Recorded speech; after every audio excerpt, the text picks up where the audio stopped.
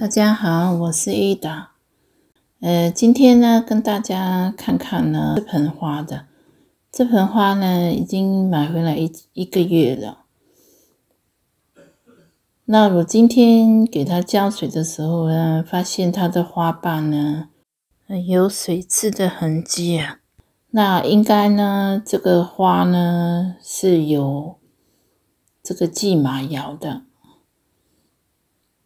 那我走近看呢，还看到它的花瓣上面有一些小黑虫啊，就是在那边爬，很小的，很像芝麻一样，比芝麻还小啊。要拿那个大镜头来光照来照它，才能够看到的。那我觉得呢，这个为什么有蓟马呢？是应该来自这个香花。我这颗香花呢？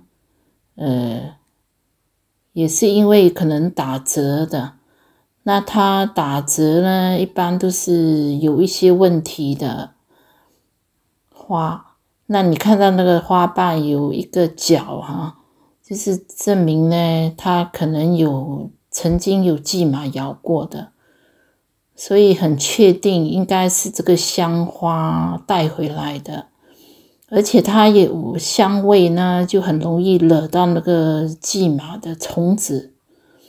虫子很喜欢闻香味的嘛，所以呢，就是讲买回来的打折花呢，一定要就是隔离开，不要跟自己家里的那个花一起放啊，要隔离它。那现在我这棵花呢，就变成。也惹到蓟马了，所以现在呢，就是要呃，就是要抓干净，或者要要隔离他们两个。好，今天就跟大家分享到这里，谢谢你们收看。